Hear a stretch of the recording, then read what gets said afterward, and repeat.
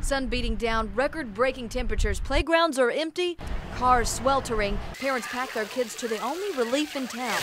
Really miserable. And for my two year old, it's miserable for her as well because she acts up when it's hot. In a matter of hours, Novant Health pediatrician Dr. Scott Spees says the heat can be deadly for children. Their bodies don't maintain temperatures as well as adults, and they don't recognize the heat exhaustion signs nausea, headache, dizziness. Heat stroke, which is where you've lost the ability to maintain your temperature and you're getting into 104, 105 fevers, seizures, things like that. It gets really dangerous really fast. And as the heat peaked at 99 degrees, we tested just how hot it can get for kids and how dangerous starting back at the playground. Just to give you some perspective, this portion of the slide in the shade measures at 105 degrees. Not too hot to the touch, but up here in the sunlight, the temperature is 147 degrees. If you've got a child that's not able to jump off of that right away, you can easily get into first and second degree burns. Dr. Spees points out some of the more unexpected dangers, like your child's car seat. Michaela Reed's car seat buckle? 130. Inside the car, nearly 150 degrees. It's too hot.